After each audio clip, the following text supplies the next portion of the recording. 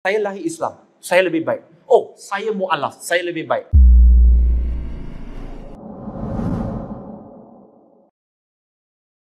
Mereka yang digelar sebagai mu'alaf ini ada kalanya juga menerima implikasi seperti saya ini adalah Muslim original. Awak tu mu'alaf.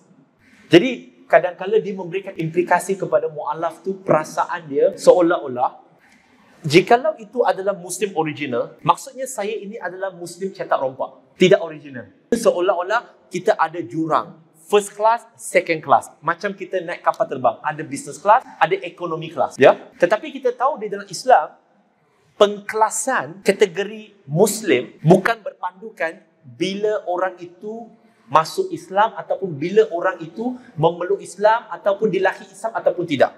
Pengkelasan kategori Muslim di dalam Islam adalah sebagaimana firman Allah Subhanahu Wa Taala di dalam surah Al-Hujurat surah ke-49 ayat 13. Inna akramakum indallahi atqakum. Yang terbaik di kalangan kamu adalah yang bertakwa. Bukan kata, oh, saya lahir Islam, saya lebih baik. Oh, saya mualaf, saya lebih baik. Tidak.